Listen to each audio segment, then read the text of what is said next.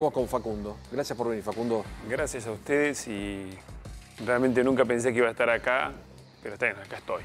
Y te tocó. Y me tocó. Te como tocó. te puede tocar a vos, te A puede tocar a vos, a cualquiera.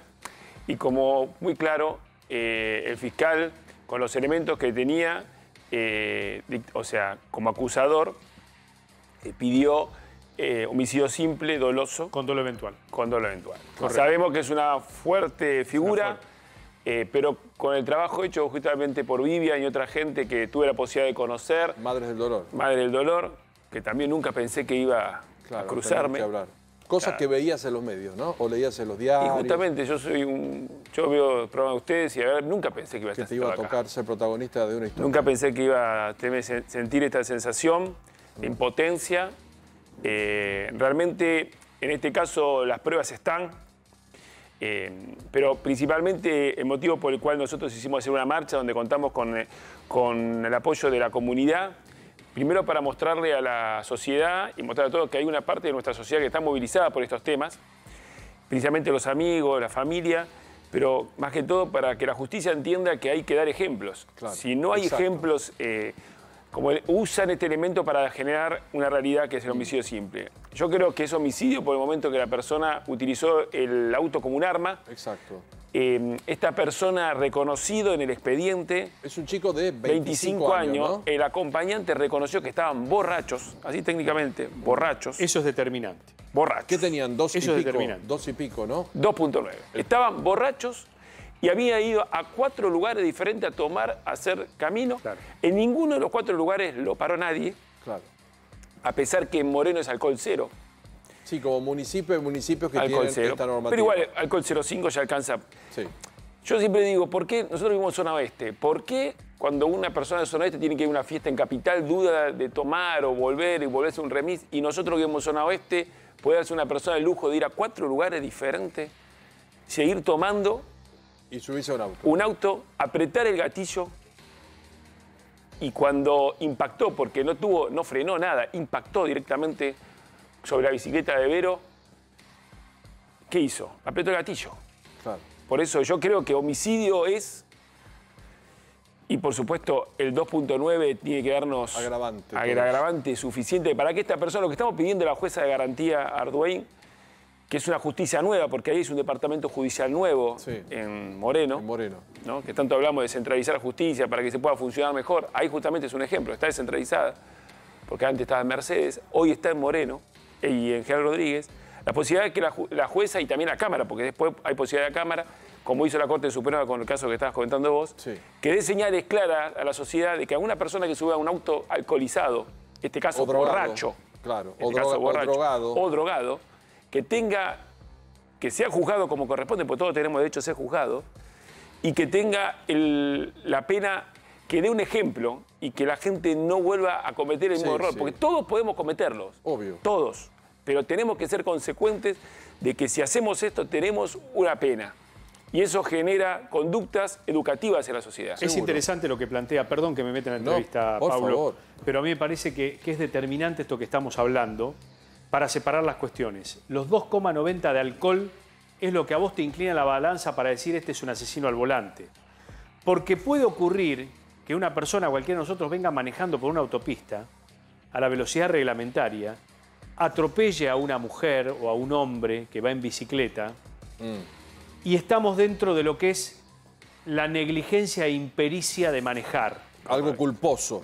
Me explico, digo, vamos a separar porque no todo incidente vial es igual. Obvio. Y el alcohol es determinante para estar hablando de esta carátula fuerte que vos decís, Facundo. Yo te quiero decir algo, esta persona, esta autopista vos podés manejar a 130, Claro. para poder haber bajado en la bajada a 100, Claro, venía a. Enro- Tenía que haber venido enroscado. Claro. Sí, sí, sí. él pasó directamente del tercer carril, bajó. Claro. O sea, y entre 80 y 100, Sí, calcula la fuera, pericia. fuera de control. O sea, vos fijate a cuánto podía en el carril rápido.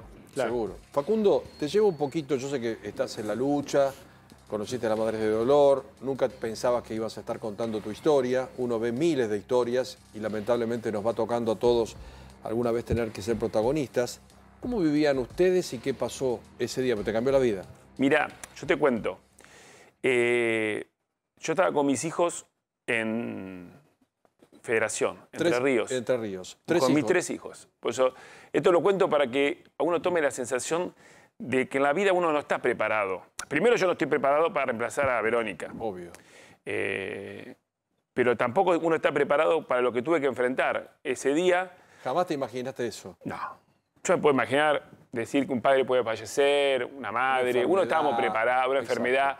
Pero te puedo asegurar, yo estaba sentado en la mesa, habíamos ido a. Nosotros a las 4 de la tarde nos volvíamos de federación, porque yo tengo una agencia de turismo y íbamos con contingente, con un grupo de amigos. ¿Tres hijos de, de qué edad tenés vos? 18, 15 y 12. Ajá. Y, y yo estaba sentado almorzando con mis hijos, preparado para ir justo a ver, a ver por, por YouTube un partido de un equipo que seguimos, y de ahí a las 4 nos íbamos, y en ese momento suena el teléfono y me dicen que Verónica había tenido un accidente. Lo primero que pensamos, alguien que entrena, que se cayó, clavícula, Claro, te queda- bicicleta. Claro. me dice, no, mirá que es importante. Me levanté la mesa, nervioso, mis hijos me preguntaron, digo, no, no, voy a, voy a hacer un llamado. Ahí llamé al entrenador, en forma desesperada, me dice, venite ya, venite ya, pero necesitan un, un familiar directo. Y llamé a uno, a otro, nadie me quería atender. Y en ese momento pasaron dos, tres minutos.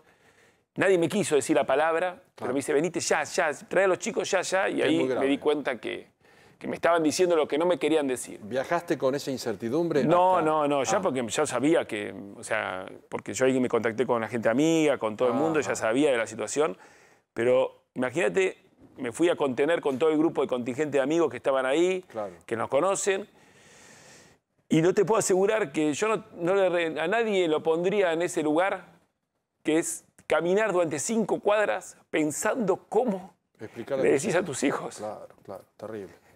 ¿Cómo haces? Porque uno piensa primero, dice, no, no le digo nada hasta que lleguen, se enteren, que lo abracen todos los familiares. Pero ¿cómo haces? Ante cinco cuadras pensé. Y hoy la única imagen que tengo es la imagen caminando, llegando a la esquina, mi hijo mayor, el 18, me levanta el celular y me dice, papá, ¿es verdad esto? O sea, que no hizo ni falta que le diga. Levantó el celular y me dijo, papá, ¿es verdad esto? ¿Esto le pasó a mamá? Y ahí me cambió la vida. A partir de ese momento, ese, o sea, cuando me dijeron todo lo que me dijeron, no había tomado reacción. Hasta que me dijeron esto. Tampoco me habían dicho en ese momento que un borracho, nada. O sea, un accidente. Mi vida me cambió desde que vi la cara de mi hijo. Me dijo, "Ma- papá, ¿es, es verdad? Imagínate que tenía mi, hijo de, mi hija de 15, mi hijo de 12. Tener que enfrentarlos, abrazarlos, tener el resto del contingente de personas, todo abrazado. Mi hijo dice, me quiero volver ya. Por suerte tengo amigos en Entre Ríos, la misma gente del hotel, me trasladaron. Y está bien, la, ver- la verdad conté con todo el apoyo de los amigos, todo que, más de lo que todo que fui ayer para poder despedir como se merecía Verónica, poder hacer el. Porque el primer miedo era si podíamos despedirla, porque no hay cosa peor a veces también cuando pasa una cosa de esta que no tener la posibilidad de despedir al cuerpo, ¿no? Porque es algo tan duro. Pero por suerte pudimos despedirla, mis hijos la pudieron despedir, mi hijo lloró como. Nosotros estamos transitando, pero la realidad, yo a nadie le recomiendo, a nadie, yo creo que nadie está preparado para ver a tus hijos sufrir. Nadie está preparado. Nadie. O sea, los adultos estamos preparados para muchas cosas y tenemos fuerza, pero ver la cara de un hijo, no nadie está preparado. Por eso la marcha fue para no paralizarme, porque la primera reacción que puede pasar es paralizarme. Sí. Hicimos esta marcha ayer con gran esfuerzo y con gran colaboración de todos los amigos, de la familia y todos.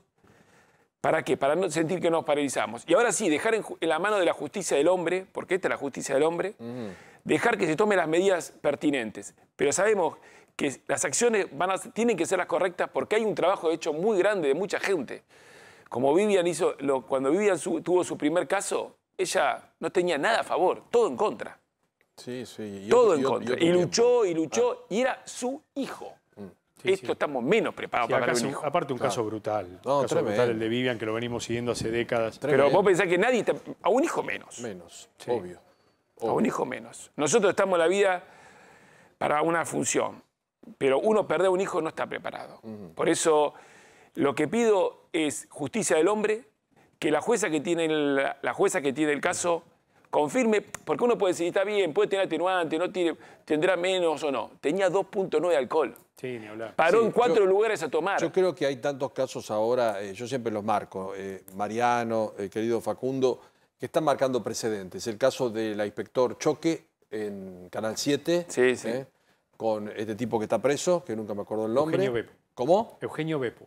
Beppo. Sí. El caso de Julián, el piloto de aerolíneas, el abogado que lo arrinconó contra un paredón y lo, lo terminó a los pocos días matando de la lesión que le provocó. Eh, y ahora tenemos algún otro. Bueno, la, la Corte Suprema con el caso Aliberti, Claro. hoy. Que ratifica lo que dijo. Son eh, cosas que se van eh, juntando. Pero no, no quedan libres. No porque quedan ahora hay, hay- un. La, la sociedad argentina creo que le hizo entender a la justicia. Porque si no es una forma muy, muy sencilla. Salimos con un auto, nos emborrachamos, nos drogamos, matamos gente y decimos, no, che, un accidente. Esto no es un accidente, Claro. esto es un homicidio. El tema es que uno dice, está bien, pero las cárceles, dejarlo en la cárcel, que tenga un juicio justo, sí. Pero ¿qué pasa? Si vos salís de prisión, puede ser que no entorpezcas la causa. Pero ¿dónde está el ejemplo? ¿A vos qué te hace, qué te da más tranquilidad? ¿Y a tus hijos? ¿O por tus hijos? ¿Que esté preso este tipo?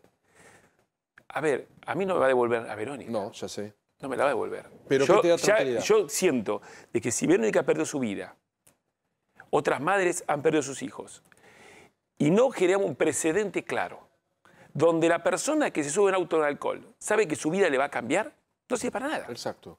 Lo que tienen que entender las personas Hay un, hay un que se suban, a- como hoy una persona, como de ejemplo, va a la ciudad de Buenos Aires, va a una fiesta, duda si, si, si toma puede volver. Claro. ¿Por qué? Porque alguien lo va a controlar. Si vos tomás y pasa algo, tu vida tiene que cambiar, Exacto, como cambió la tuya. como cambió la mía. Para mal. Yo hoy llego a mi casa, están mis hijos, y hoy, cuando, cuando ellos caigan, como hoy mi hijo más chiquito, si lo, lo- lo ven en las redes sociales, El- el hoy está es cayendo. el de 12, el el de varón. 12. Si vos vieras lo- los posteos, yo me parto al medio. Sí, sí. ¿Y qué haces? ¿Cómo, cómo es el día a día Y de un hoy, papá con tres chicos? y que hoy- tiene que a veces ver, yo tengo- mamá también, ¿no? ¿cómo? ¿Cómo es hacer de papá, de mamá? ¿Cómo- Mira, yo, yo tengo la fuerza para hacerlo, porque eh, tengo la fuerza, pero lo más difícil es lo que viene. Hoy tengo la fuerza, lo que viene. Los chicos necesitan una madre, la madre no se reemplaza con nada. Hoy, como le dije ayer en la marcha, abrí mi corazón y mi casa para todos los amigos que realmente a mis hijos hoy lo están conteniendo. Pero eso es como le digo a mis hijos, acepten los abrazos, acepten todo lo que le dan, porque lo hacen de corazón. Pero después lo tenemos que construir nosotros. Claro, esto- no nos queda otra Esto es de cosa. tránsito. Esto es de tránsito. de y es tu lucha hoy. Por eso, yo lo que yo quiero que esté preso, pero no porque tengo odio, porque Claro. tengo venganza, porque a mí, a Verónica no la van a traer, que la necesitan mis hijos. No la van a traer. Pero que quede claro que el caso de Verónica, más otros casos de otras madres Claro. o parientes que han sufrido, sea claro que la mente del ser humano cambie y sepan que si destruyen una vida de otro, se le destruye su vida también. Exacto, que se paga. Se paga. Sí, el argentino penas. tiene que tener miedo a salir a manejar. Claro. Claro. El argentino tiene que tener miedo y tiene que representarte que si pisa el acelerador o toma una copa o lo que fuere, puede representarse la posibilidad de matar, ir a prisión y tener arruinada también su vida. Pero por Si supuesto. no, esto no lo vamos a Y solucionar. también el tema de que algunos dicen, "Y, pero iba por la autopista. Es circunstancial. Bueno, pero yo contaba que fue por autopista por una cuestión de inseguridad. pero de si seguridad, porque, en Moreno, en arroyo los, pe- los perros que están a 200 metros, te roban. Te, te ponen uno adelante y uno costado. Eso va a ser en materia civil. Eso, materia va a ser civil. discutible en materia, civil. En materia esta penal, no hay persona pasaba una moto, pasaba un colectivo. Vos pensás un colectivo que justo bajaba, el tipo se clava el colectivo, explota, mueren 50 Sí, personas. sí, sí. O sea, acá el, el tema es el alcohol 2.9. Totalmente. Exacto. El tipo decidió gatillar cuando se subió arriba del auto. Con 2.9 la persona está demostrado y están los elementos. Acá hay una cosa muy importante. Acá también se presentó seguridad vial con una cantidad de jurisprudencia para ayudar en ayuda al juez, Claro, claro. para decir, "Ah, si tenés alguna duda, acá está todos estos Yo casos. no sé si este, Claro. eh, este tipo, el asesino de tu mujer, no acumulaba no sé qué cantidad de infracciones por alta Había velocidad. 280 mil pesos en el auto. 200 80 mil pesos había de, de- de multas. multas por exceso, exceso de de velocidad. velocidad. Había elementos que, es como dice, es un elemento más. Pero acá hay claro, Bueno, pero si vos acumulás falta por exceso de velocidad, significa que Claro. no es una conducta de un no, día. no. Y también otra cosa clara, algunos dicen, pero paró. No, paró en el estado que estaba, no tenía posibilidad de, paró ante el impacto, y atrás automáticamente, paró un policía civil, y fue el que llamó, el que, por el cual vino la, la policía, Claro. por el cual el tipo estaba en tan condición de, de- de- Sí, no de- tenía de manejo que se permitió que saquen sangre, que le hagan... Claro. eh, Bueno. porque no podía, con- no podía estar en sí mismo. El otro caso brutal que tuve aquí a su pareja hace días, eh, Marcela en los bosques de Palermo. Claro. Otro caso tremendo. Y una vida que cambia. Eh, Mariano te preguntaba cómo es el, el día a día. ¿Se, se habla de Vero en la casa? Eh, ¿Se trata de no hablar de ese momento? ¿Cómo- Mira, ¿cómo, cómo se, cómo es se que nosotros hoy es, momento, hoy es un momento de tránsito donde hoy estamos en- expuestos a través de las redes, expuestos, son todas estas mismas fotos que vos mostraste y todo, son lo que era ella, esa sonrisa, esa, por eso hoy estamos en este proceso donde los chicos hoy siguen viendo a la madre, siguen viendo su sonrisa, siguen viendo a la persona. Vos pensás que ella estaba entrenando para este domingo iba a ser un half, que es un medio Ironman, Sí. en Entre Ríos junto con mi hijo. Estaban planificando junto el viaje. Claro. Y en el mes de, y en el mes ahora de mayo había abonado para ir al Ironman. Que quiero marcar esto. ¿Por qué estaba entrenando tanto? Porque era, ella también fue consecuencia de la pandemia, porque ella se había anotado el 2020, Sí, además- había, abonado, había abonado eso. No. Cuando se lo reconocieron ese Claro. dinero para poder No hay, participar, que, no hay que justificar nada. Acá el problema es de, de la otra parte. Claro, no nosotros no estamos justificando nada, sino pero a veces la- uno, mostrar la pasión que uno, o sea, Ni esta- nadie tiene derecho a que porque arriba la autopista, que porque abajo, que No, porque pero abajo, cuidado que porque en porque- sede civil te van a cuestionar. Claro. Cuidado porque en la causa civil. Mira, la- a mí la causa civil a- es, una, es un, un complemento de la penal. No, está bien. Yo no estoy buscando decir nada. Vas a yo- escuchar de todo. Vas a Eh, escuchar de todo. Exacto. Y tener la fortaleza para Pero yo tengo la fortaleza de, de- de ver la- la- las presentaciones que harán los abogados que son totalmente que no van a radiar, pero está bien. Obvio. Pero yo tengo que ser fuerte, hoy, hoy tengo que ser fuerte para, para mis hijos y también para dejar la imagen de esta persona bien, bien claro, esta persona que era muy linda persona, que era Vero, que ponía pasión por lo que hacía. Y eso es lo que quiero que mis hijos se queden con esa imagen. Una persona que tenía una sonrisa y que tenía pasión por lo que hacía. Porque se levantaba todos los días a las 5 de la mañana. Pues imagínate que el celular de ella el día martes me sonó a las 5 de la mañana porque el celular no se lo había llevado porque, por miedo que le roben. Porque para que sepas una cosa, estuvo casi dos horas viendo quién era porque no tenía ni celular, ni documento, nada, por miedo a que le al roben. robo. Claro. Por eso estuvo, estuvo varias horas tratando de ver quién era. Estuvo Sí, como sí. NN. Sí, sí, sí. Y el celular a las 5 de la mañana me sonó en mi casa. O sea, todos los días se levantaba a las 5 de la mañana para ir a ah, entrenar. la- la alarma, Claro, claro. para ir a entrenar. Por eso queremos Cuando- dejar esa imagen. Cuando pasan estas cosas, uno tiene necesidad de saber de- del asesino, No, nada. Ni, ni sabes quién es. no me, no me importa no me interesa nada. Yo lo único que quiero... Tu energía está puesta en otra cosa. mi energía está puesta en mis hijos hoy. Obvio. Mi energía está puesta en mis hijos, en que los amigos me acompañen en este proceso. Y la justicia del hombre dirá, la marcha la hicimos ayer para visi- visibilizar, para que se vea la realidad que vive hoy cualquier persona que sale a la calle Sí, y, sí, puedes- sí. y puede cambiarte tu vida en un minuto. En un minuto. En un minuto, mi vida, vuelvo de repente, como dijo, cuando mi hijo me levantó el celular, a partir de ese momento cambió mi vida y no se va a cambiar con nada eso. Por eso...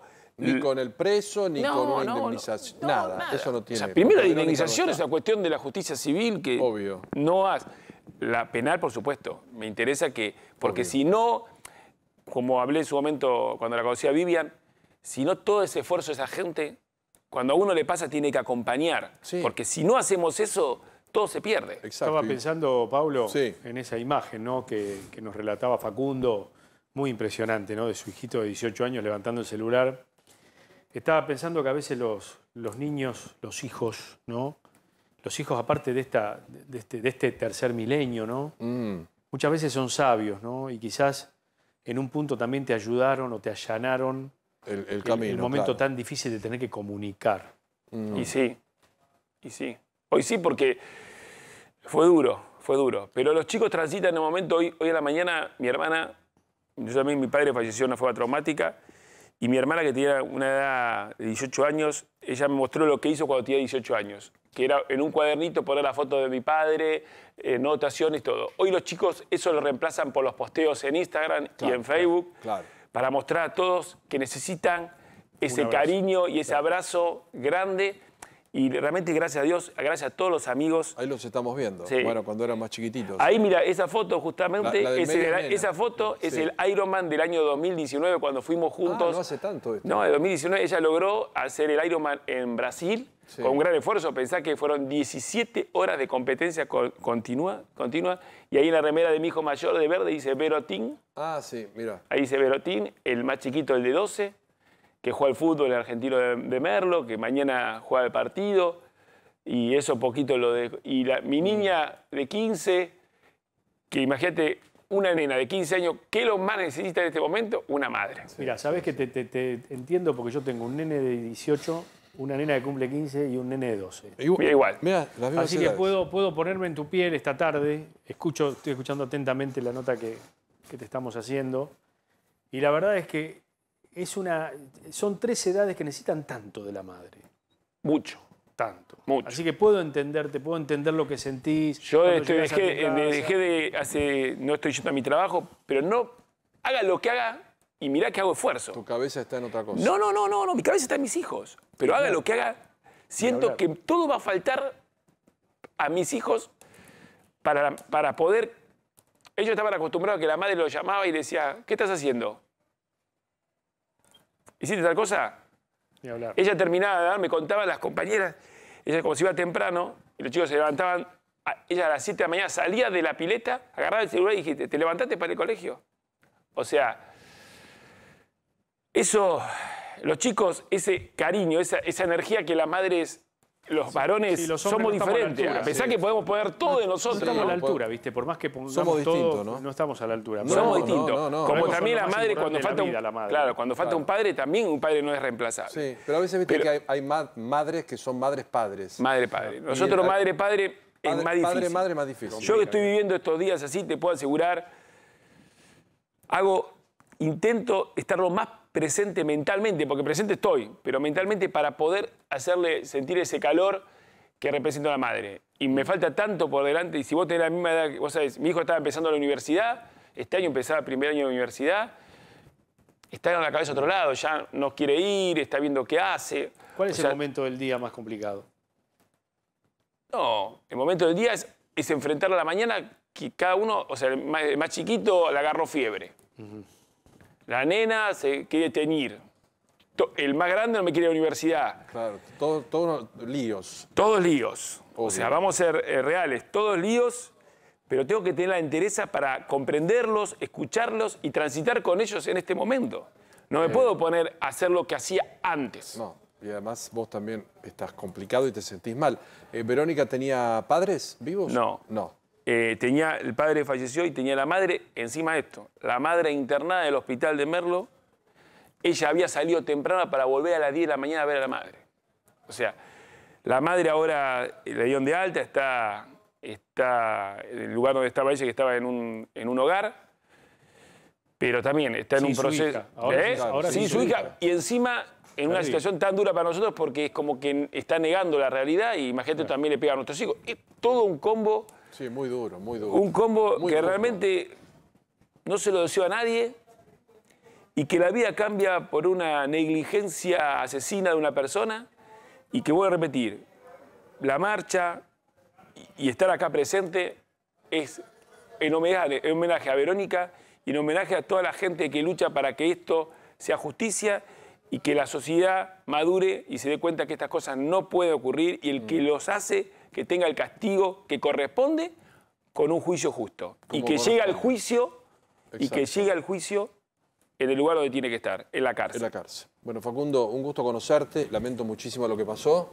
Y gracias a ustedes. Estamos a tu disposición para lo que y- quieras difundir. Y Esperemos que no tenga, a ver, energía. esperemos, espero de corazón que no tenga que hacer nada más, que la justicia del hombre no me dé el cachetazo, que esta persona quede libre hasta el juicio, porque sería realmente un cachetazo a mí, a mi familia, a los amigos y a la gente que lucha para que esto no a siga Verónica. apareciendo. Y a Verónica. Verónica es la persona que se la llevaron. Por eso, en homenaje a ella, hacemos lo que hacemos. Exacto. Los amigos, que quiero, quiero agradecerles a todos. A todos, porque realmente tienen una tarea importante ellos, los amigos. Obvio. Que es acompañar a mis hijos Y en el crecimiento. en todo. Bueno, un beso a los chicos, cuídate y lo que necesites, acá estamos. Muchas gracias por permitirme estar acá. Un gusto que hayas venido. Y, Y lamentamos mucho lo que te pasó y lo que marcaste. Te tocó a vos, mañana a mí, pasado al otro, pasado a usted, pasado cualquiera, vos, ¿eh? a cualquiera, A porque cualquiera. estamos en una jungla. Estamos en una jungla. Estamos y somos civilizados, no, te debería, no debería ser así. Exactamente. Gracias por venir, cuídate y mucha fuerza con los chicos. Gracias. Gracias, Gracias. Facundo. Gracias a ustedes.